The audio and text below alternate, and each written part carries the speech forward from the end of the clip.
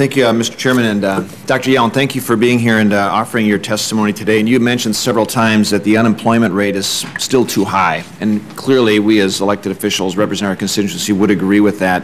Now, in April, you made some remarks to the Economic Club of New York, and at that time you said that the central tendency of the Federal Open Market Committee participant projections for the unemployment rate at the end of 2016, so this is still out, you know, a year and a half, would be 5.2 to 5.6 percent.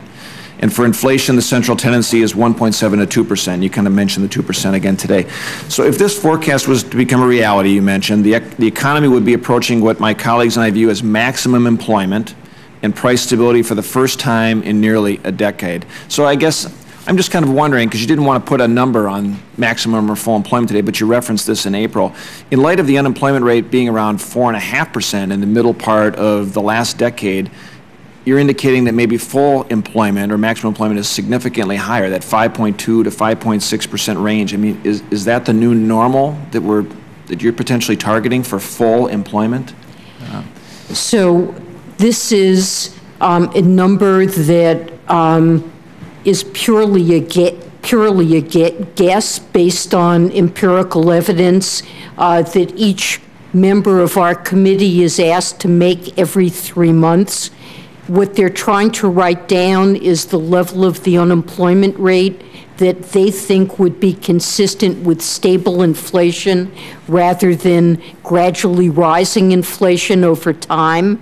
And um, based on the evidence that they see, uh, their current read, and these are, again, just estimates and um, something that changes uh, from time to time, but their best assessment, most of them are in a range of 5.2 to 5.6 percent.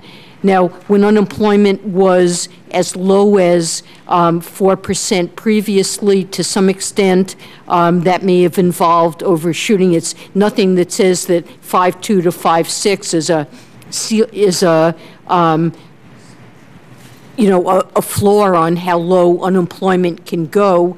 Uh, uh, for example, in the late 1990s, unemployment fell well below those levels but there may have been special factors, an increase in productivity growth and um, a strong dollar appreciation of the dollar that was holding inflation down and made that uh, happy coincidence of very low unemployment and stable inflation possible. So at the moment, this is their best guess, and it's where they envision the economy as being in 2016. Yeah, and you mentioned too that um, it was nice. To, well, in general, with the April jobs numbers that came out, it was nice to see the unemployment level fall right to 6.1 3%, but that labor force participation rate, which you said you wanted to look at the details of that labor force participation rate, um, it fell to essentially tying a low, 62.8%. Right. And that was one of the most concerning numbers for me is 800,000 people that have now left the workforce, right? Or the labor force has declined by 800,000. That's a pretty significant number. What would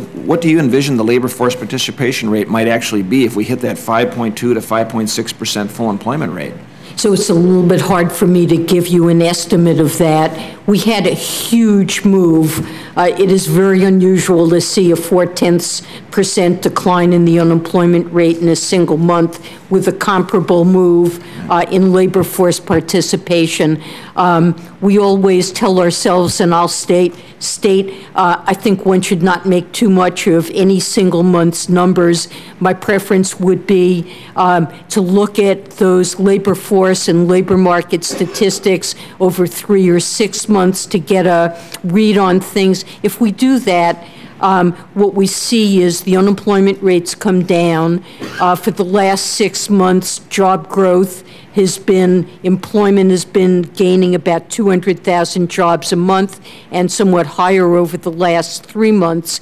The labor force participation rate, it's bounced around, but it's been roughly stable. So uh, it came down, it had gone up previously. Or over the last six months, it's been roughly stable um, which is um, I think there is a declining labor force participation rate as a trend. So a stable labor force participation rate could signify that some cyclical uh, slack in, in the labor, in the labor market is gradually diminishing over time. So looking over uh, three to six months, I would say the patterns we're seeing are consistent with improvement in the labor market. Thank you.